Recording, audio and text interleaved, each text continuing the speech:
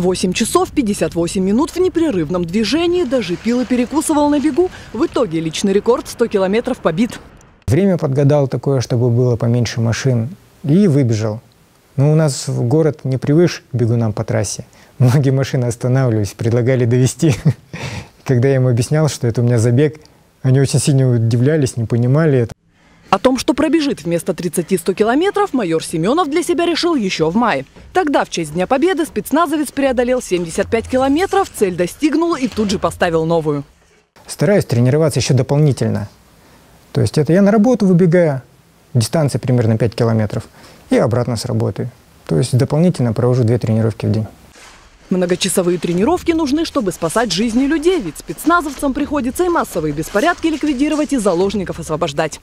Задержание особо опасных преступников, либо участие в мероприятиях по ликвидации террористов, то используется огнестрельное оружие. Да, у нас на вооружении находится АКС-74. Помимо всего прочего, одежда для спецназовцев очень тяжелая, и находиться в ней обычному человеку больше 15 минут крайне неудобно. А вот бойцы спецназа могут провести в такой экипировке больше 10 часов.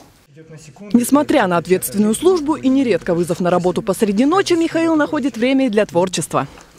В последнее время мне понравилось э, что-то делать руками. Знаете, это э, реме, ремесло, работа с деревом, допустим, мне очень понравилось. Вот, изготовил дома деревянный шкаф.